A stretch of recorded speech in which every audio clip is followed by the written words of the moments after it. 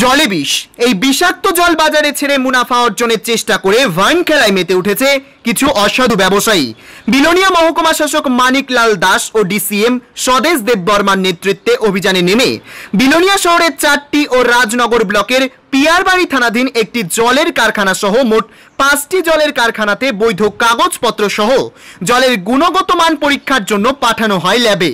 জলের কারখানার কাগজপত্র বৈধতা নিয়ে সন্দেহ দেখা দিয়েছে।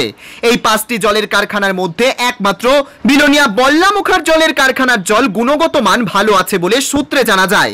একইভাবে শনিবারে অভিযান চালানো হয় বিলোনিয়া রাজনগর ব্লকের পিয়ারবাড়ি থানাধীন যশমুড়া এলাকার জলের কারখানাতে।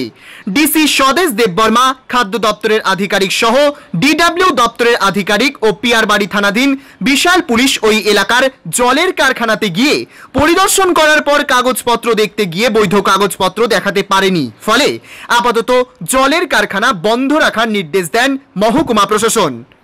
আজকে আমরা একটা প্যাকিং ড্রিঙ্কিং ওয়াটার একটা ম্যানুফ্যাকচারিং কোম্পানি আছে। আর আগেও আমরা অথরিটি নির্দেশ অনুসারে বিলোনাতে বিভিন্ন ম্যানুফ্যাকচারিং ইউনিটে আমরা ইনকোয়ারি করছিলাম। তো আজকে এখানে এলাম। আমাদের পুলিশ ডিপার্টমেন্ট থেকে আছে এডি ফুড সাহেব আছে লিগাল মেট্রোলজি থেকে ইন্সপেক্টর আছে। তো আমরা পেয়েছি কি অনেকটা যে রিকোয়ারমেন্ট রিকুইজিট ডকুমেন্ট আছে, সেটা নাই।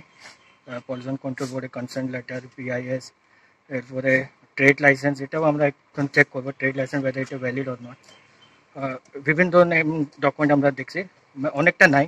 তো আমরা এই ইনকোয়ারি রিপোর্টকে আজকে সাবমিট করে দেবো for further course of action Belonia থেকে সমীর দেবনাথের প্রতিবেদন, দুরন্ত টিভি।